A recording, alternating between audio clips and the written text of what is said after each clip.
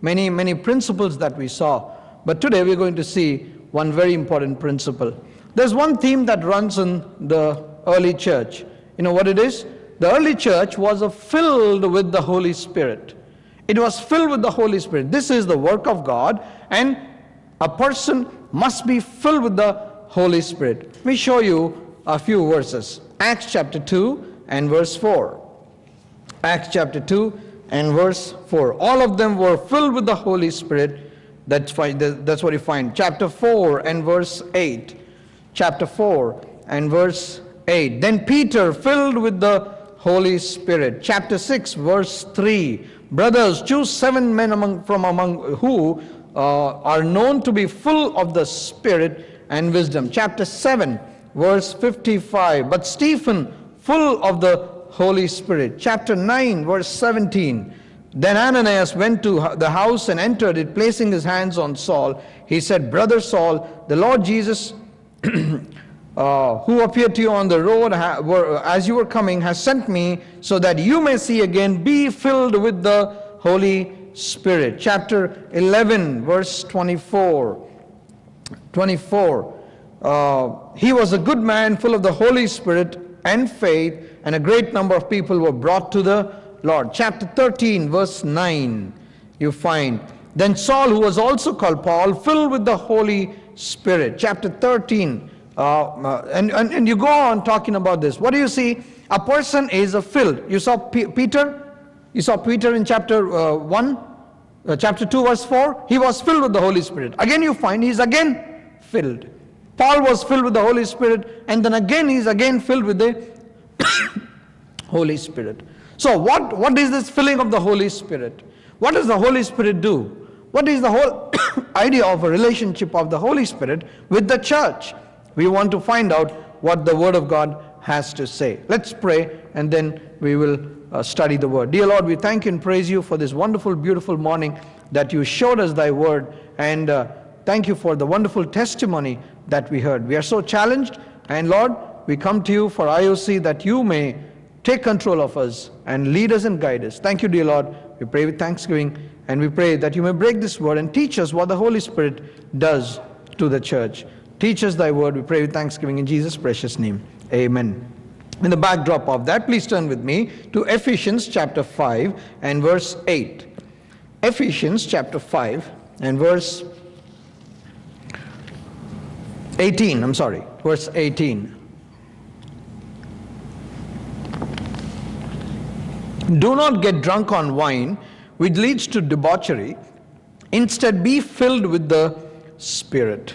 Instead, be filled with the Spirit. You find here, Paul is writing to the Ephesian church and says, what not to do and what to do. He says, Do not be drunk with wine do not be drunk on wine, but be filled with the Holy Spirit. It is not enough to say, Yes, I am not drunk on wine, but there is something more to be done. What is that? To be filled with the Holy Spirit. A believer must be a person who is filled with the Holy Spirit. Why is Paul comparing the filling of the Holy Spirit with wine. Of course, that's in the negative sense. Why is the wine now compared to the Holy Spirit? Why should a person, why should a believer be not drunk on wine, but be filled with the Holy Spirit? Number one reason. Number one reason. See, when a person drinks, I'm talking about the world, when a person drinks, now the drink starts controlling him the person loses control. Initially, what happens is a person starts drinking and he's in control, but after some time, you find the drink now controls this man. Number two, it always produces a desire for more. That's why people who have addiction, it's very difficult to fight. They have great difficulty in fighting against it. Why? Because it always gives you and and says, you need to go more. People find reasons, right? There's some, there's somebody said like, uh, the people find reasons. If they're happy, they want to drink. If they're sad, they want to drink. Why? They just want an excuse. Why? Inside, there is something that is pushing them. There's more control, there's more desire for more. That's what's happening here.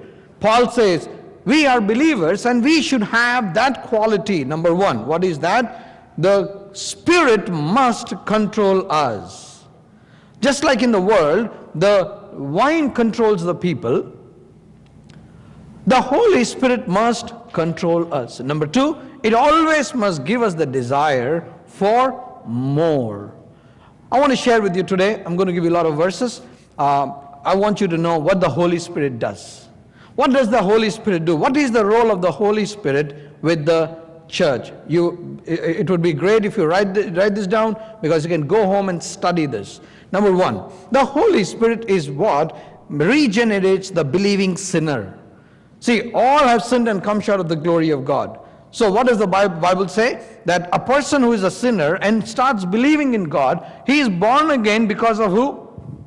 Because of the Holy Spirit. The Holy Spirit, God, he comes and starts, he, he gives you the rebirth. Titus chapter 3 and verse 5. Titus chapter 3 and verse 5.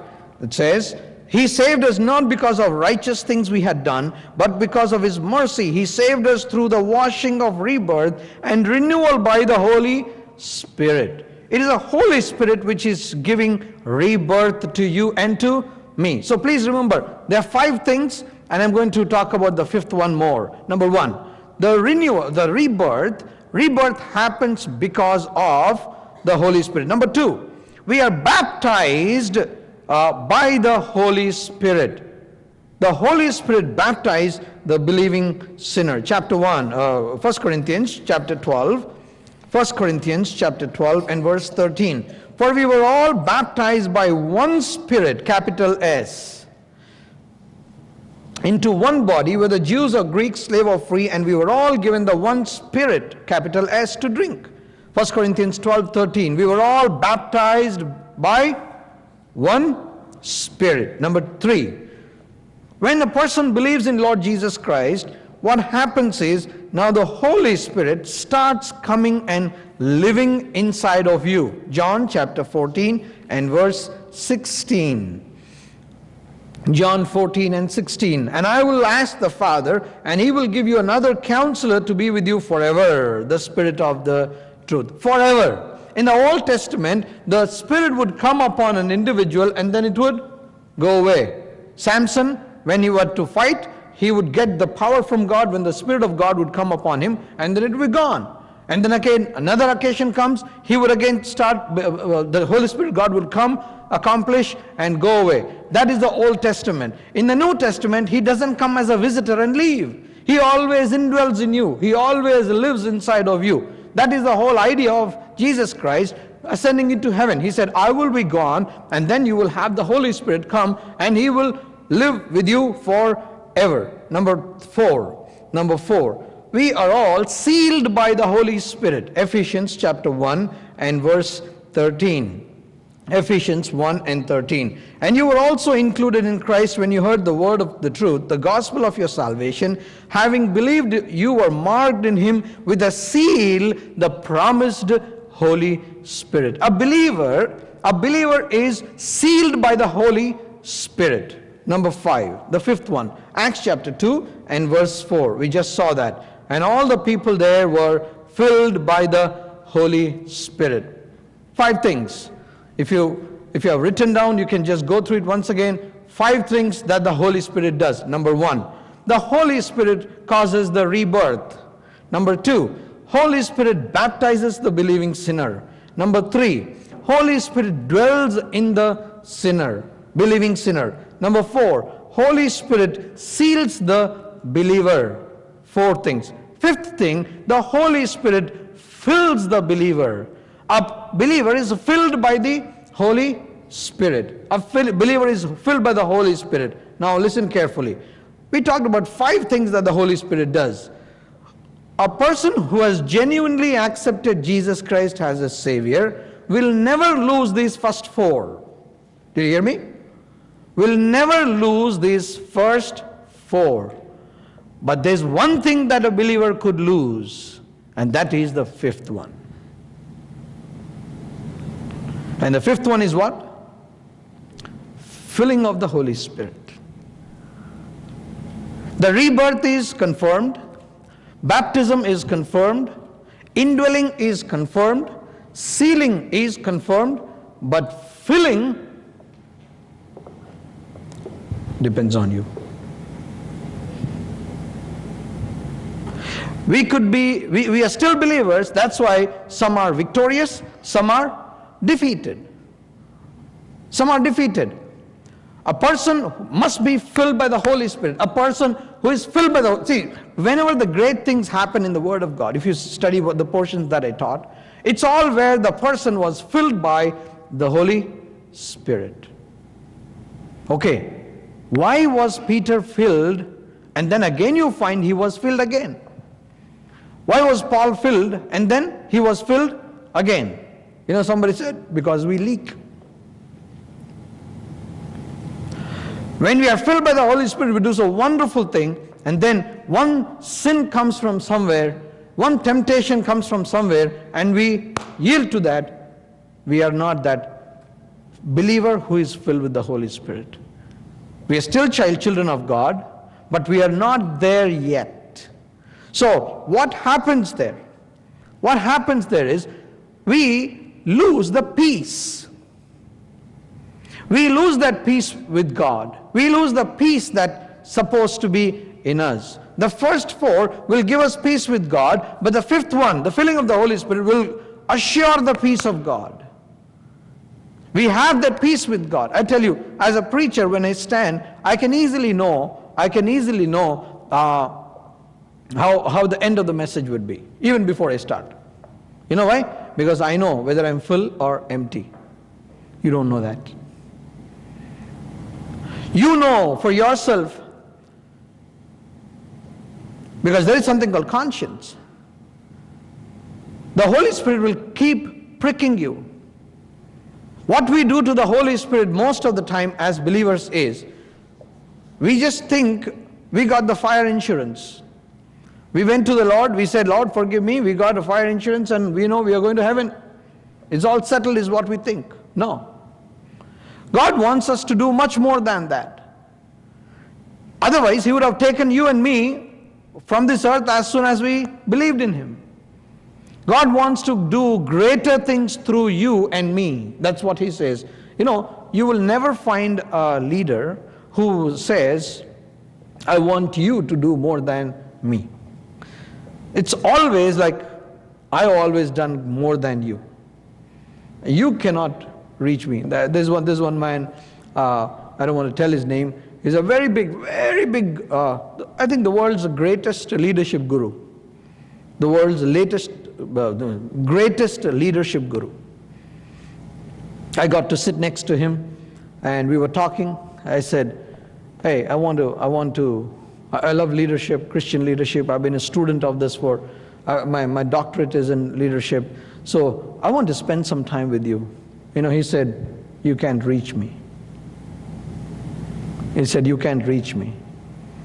In the Old Testament, when God was telling uh, Moses, he told Moses, He said, uh, Moses, after you, Joshua will be the leader. Joshua will be the successor. You know, in that occasion, God tells Moses to do something. Turn with me to Numbers. Numbers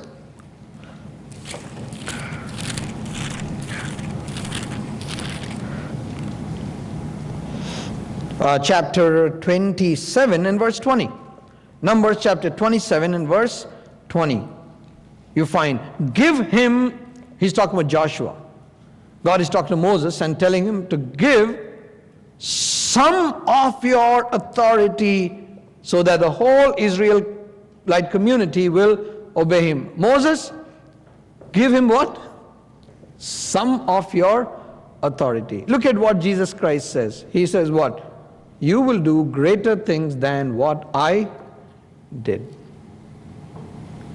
What is the change there? Why this difference? It is because of the Holy Spirit. He wants to accomplish more and more through you and me. How do we leak? How do we leak? There are two ways, two reasons why we keep falling. two reasons. Turn with me to 1 Thessalonians chapter 5 verse 19. 1 Thessalonians chapter 5 and verse 19. Do not put out the Spirit's fire. It says, do not quench the Spirit.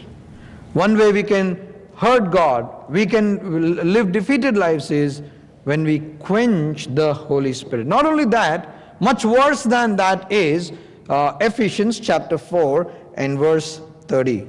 Ephesians chapter 4 and verse 30. You find it says, Do not grieve the Holy Spirit of God. Many times we quench the Spirit and we also do grieve the Holy Spirit. What is grieving? What is grieving? You know, when, when, you, when you have a loss, when you have a loss, uh, somebody dies in the family, till, uh, till the body is buried, it's all uh, logistics. Where to bury, where to get the pastor, where to get the, you know, casket, you know, how much to uh, spend, who are the people coming, all this happens. But one particular day, everybody is gone. All the relatives, friends, and everybody is gone. And you are all alone.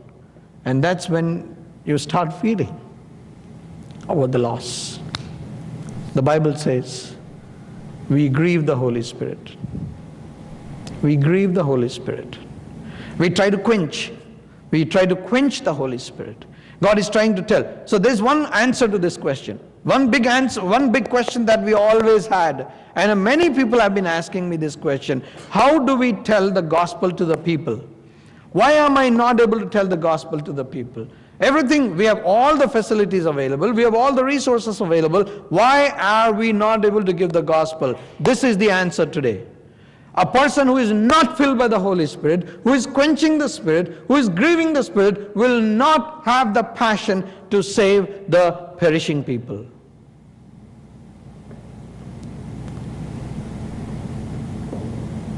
Personally, even I have been trying to look for this answer and say, where is the answer to this question? Always we were thinking about the outside. It's not outside, it is inside. Why does why does Levina auntie have that passion and why don't we have that passion?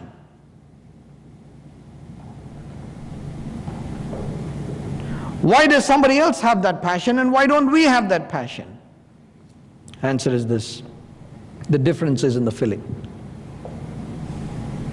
It's in the filling. When Peter stood up that day and he spoke, he was an ordinary fisherman. You know, if he had stood up there, what gave him the courage? What gave him the courage? Tell me something. Just think about the whole story of Pentecost, the day of Pentecost. What gave him that courage that day?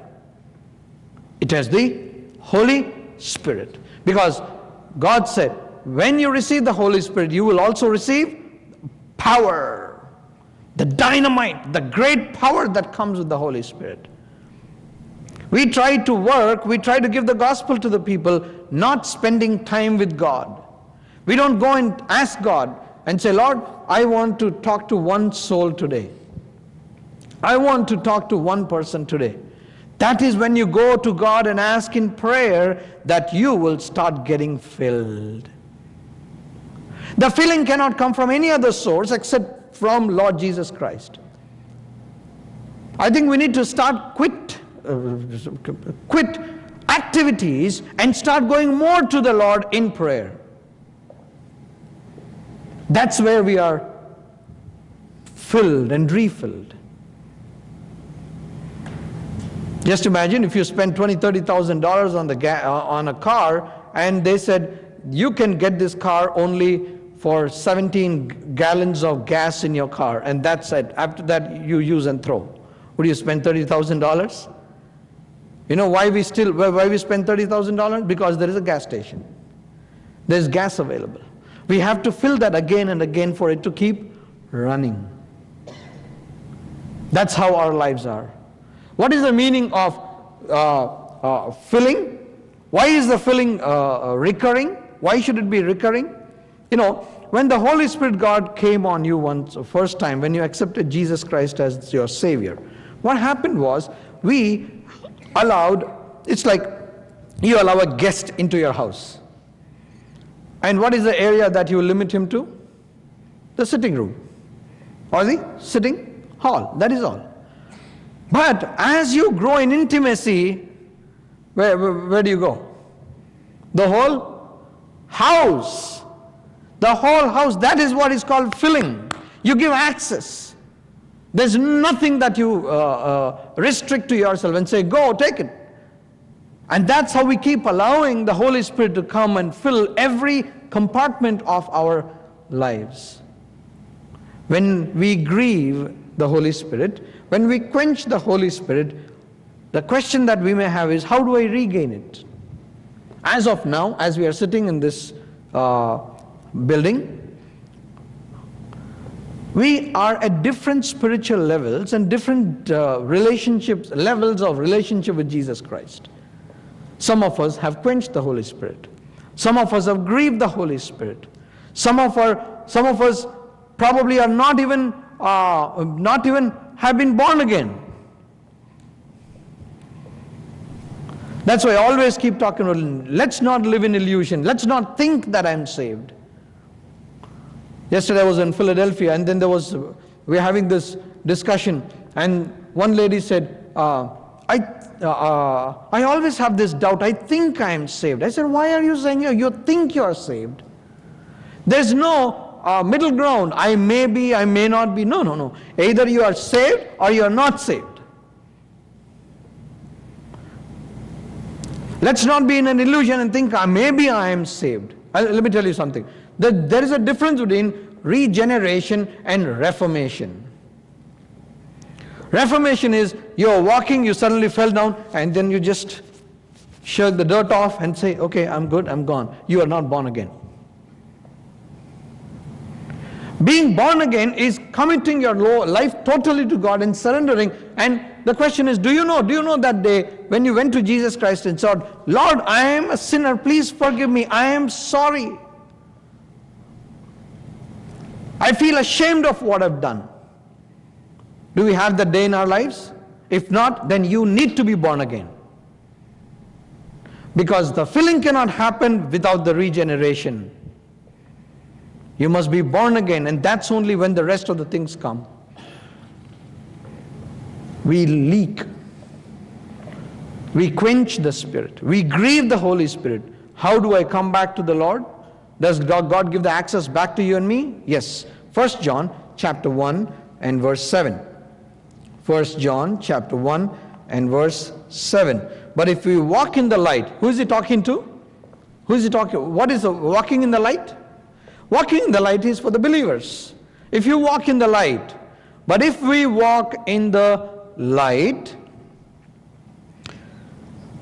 he is in the as he is in the light, we have fellowship with one another, and the blood of Jesus, his son, purifies us from all sin. Therefore, as believers, when we commit sin, and then when we quench the spirit, when we grieve the spirit, there is a gas station available. You know what that is? That's where you get the blood of Jesus Christ. You go to God and say, Lord, forgive me once again. Wash me once again. Cleanse me thoroughly once again. We live our Christian life so easy. We take it easy. We think everything is going on smooth. But we need to remember that probably we are hurting God. Probably we are grieving God. Please remember number one, we need to go for the refilling. How do we regain that? It's by going to Him. Uh, to the blood of Jesus Christ. Same chapter, same, uh, uh, same chapter, come to verse 9. If we confess our sins, he is faithful and just and he will forgive us our sins and purify us from all unrighteousness.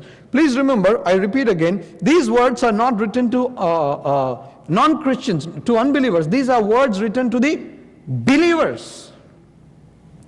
So a believer needs to go and confess to the Lord and the believer needs to go and ask for the blood of Jesus Christ. We need to be constantly under cleansing. We go to God and say, Lord, I committed this. Please forgive me. We need the blood of Jesus Christ and we need the confession. Confession is a very integral part of a transformation. Did you hear me? confession is an integral part of transformation. A person cannot change from a sinner to a believer unless you confirm. You cannot be changing from a, a, a, an unfilled uh, believer to be to a filled believer unless we go and confess. In confessing, we have that humility. In confessing, we acknowledge we are wrong. In confessing, we show the desire to be filled. In confessing, we, uh, we, we, we, we portray our emptiness. And that's what we need in our lives. We need in our lives that confession. We need that blood of Jesus Christ. You know, in the, in the story of the Israelites, there's one beautiful thing that you find.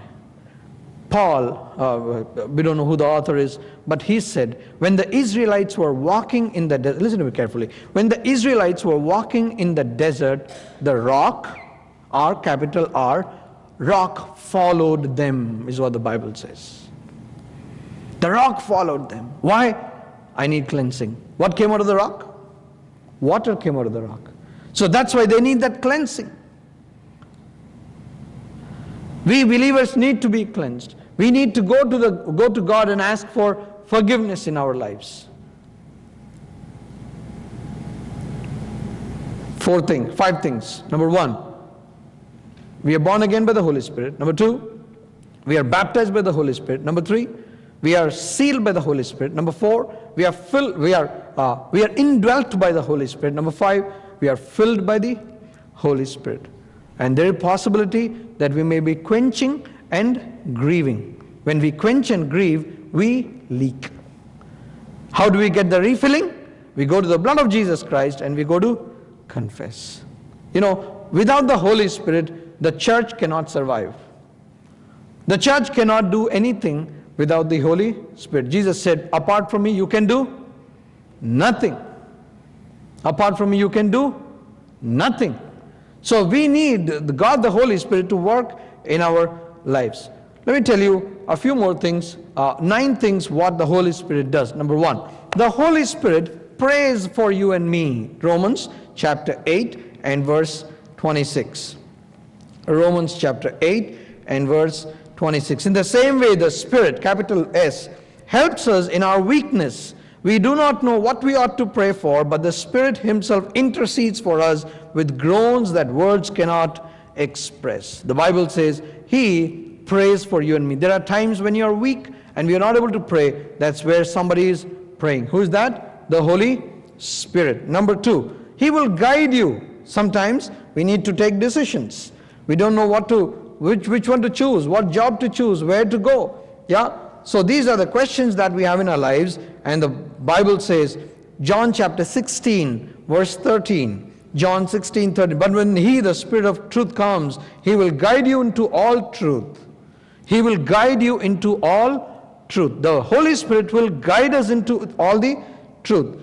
First John chapter 2, 27 says, He will teach us. First John chapter 2 and verse 27. The Holy Spirit will teach us. 227 says, as for you, the anointing you receive from him remains in you, and do not need anyone to teach you. But as his anointing teaches you about all things, and as that anointing is real, not counterfeit, just as it has taught you, remain in him. You know, many times people think, how is it that we are able to learn so many things? Yesterday, I was at Philadelphia. We had, I finished my, my, my teaching at 2 o'clock, but we had people asking questions for one and a half hours. One and a half hours, people were asking questions. What happens? What happens? You know, wonderful, wonderful discussion that we had. And then uh, sometimes some people come and say, How do you know all this? How do you know all this? How do you know all this? It's the anointing that God gives us. He can teach you too. He can teach you too. When you say, Lord, teach me thy word, do you think God, God says, no, no, you have to go to seminary only, or only, only through the pastor? No. God can teach you that too. He is a teacher to everybody. But definitely God has put teachers in the, in the church that they can explain things much better and more. That's the whole whole idea of the gifts of the Holy Spirit. Number four, He empowers. The Holy Spirit will empower. Acts chapter 1 and verse 8. Acts chapter 1 and verse 8. But you will receive power when the Holy Spirit comes on you, and you will be my witnesses. So, God says, when the Holy Spirit comes on you, you will receive power. He empowers. Number 5. 2 Corinthians chapter 3 and verse 18.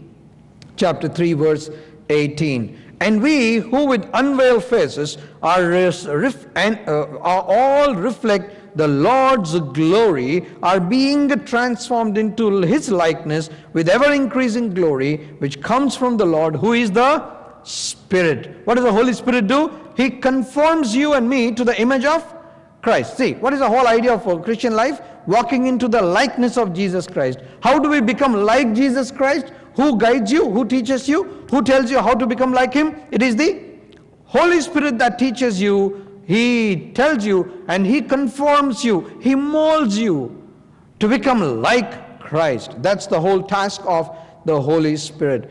And number six, the Holy Spirit strengthens the new nature that is in us. Ephesians chapter 3, verse 16. Ephesians chapter 3, verse 16. I pray that out of his glorious riches he may strengthen you and power, with power through his spirit in your inner being. So we gain strength through the Holy Spirit. Number seven, uh, 1 Corinthians chapter 2 verse 10. In 1 Corinthians chapter 2 verse 10, you find the seventh thing that the uh, Holy Spirit can do. Uh, verse chapter 2 verse 10.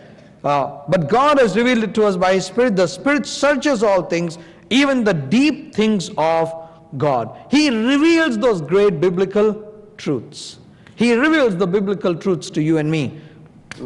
Eighth, eighth, uh, uh, eighth thing that the Holy Spirit does uh, Romans 8 and verse 16. Romans 8 and 16. Romans 8 and 16. It says, uh, the Spirit Himself testifies with our spirit that we are God's children. This is where this is the uh, verse I gave to that lady who said, "How do I know I am born again? How do I know I'm born again?" This is the verse, Romans 8:16. What does it say? You have that assurance. You have that assurance that now, even if I die, I know I'm going to heaven. I have no, absolutely no uh, fear, no doubt at all. That's what this Holy Spirit does. The last thing that the Holy Spirit does, Romans chapter 8 and verse 2. Because through Jesus Christ, the law of the Spirit of life set me free from law of sin and death. The Holy Spirit gives us the liberty.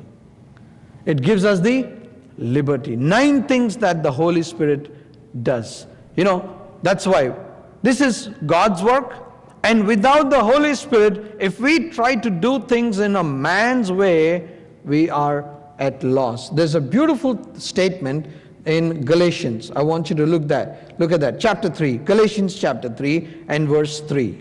Galatians chapter 3 and verse 3. Are you so foolish?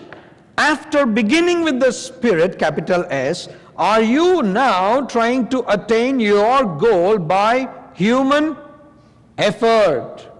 You started with the Spirit and now you want to attain it by what? Human effort. So what happened? You missed out the Holy Spirit altogether. You missed out the Holy Spirit altogether. We, we quench the Spirit, we grieve the Spirit, and we think, yeah, we can do ministry. Hold on, we cannot.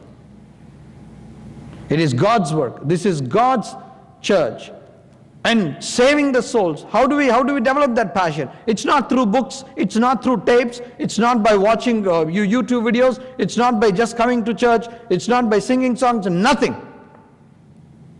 It's only by being filled by the Holy Spirit. And that can happen only when you go personally to God and ask Him to forgive your sins, ask to, uh, for the blood of Jesus Christ, and say, Lord, use me as you want to. Auntie is a great example. I can tell you. I don't know if we can live that long, 79, but at the age of 79, I don't know if I can say that we, we started seven churches here in this country. I don't know. Inaccessible places. There's one man called Surya Rao in Vishakhapatnam. He, he did ministry. You know what was his vehicle? Horse. Why? Because he has to climb those hills where there's no road. There are people living there on the top, on the hilltops. He goes and gave gospel. And we went for a special meeting from, I think, five different hilltops. We had 300 people come and listen to the word of God. We just go as visitors, as special people. Yeah, go and sit there. But all the hard work and the labor is all put by this man all through the year. I tell you, the labor in the Lord will never go in vain. God wants to bless you and me. We want to reach out souls. We want to reach people, tell the people. And once we lose that perspective, I can guarantee you we have grieved the Holy Spirit. If you say, I don't have that passion, I don't have that desire, I don't know why, I want to tell you, brother and sister, either you are not born again, not at all born again, you just, just clean yourself a little bit, or we are grieving the Holy Spirit. That's, there's only two, two, okay, two, two possibilities. There's no third ground at all. Either you are not born again at all, just because of the Christian atmosphere, we just come because our parents were Christians, we go to church, we just sing songs, we are in a, we are in a group of people who are Christians, that is all. We try to absorb the Christian culture Absorbing Christian culture is not the point. Being born again, being regenerated by the blood of Jesus Christ is what is more important. That's when we can tell the people.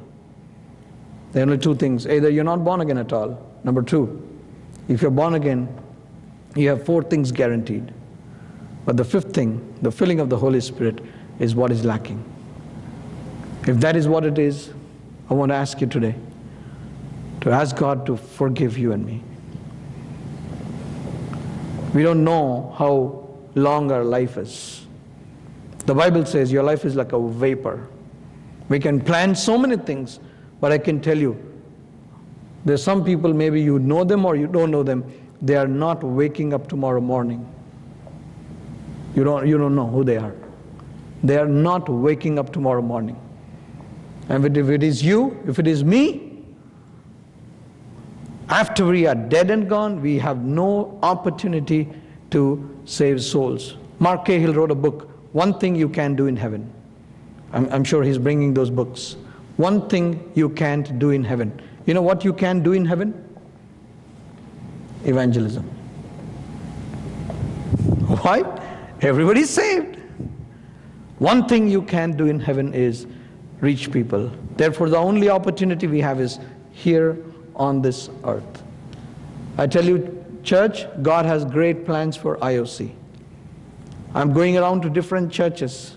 You really don't know how privileged we are. We are taking our church for granted. You go around and see. I've been to four churches in, in, in these two, two weeks. And you will see, you'll appreciate.